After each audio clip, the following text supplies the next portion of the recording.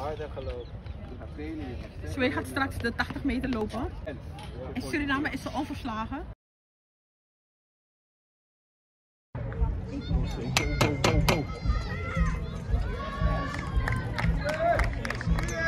Pompen, Swee, pompen!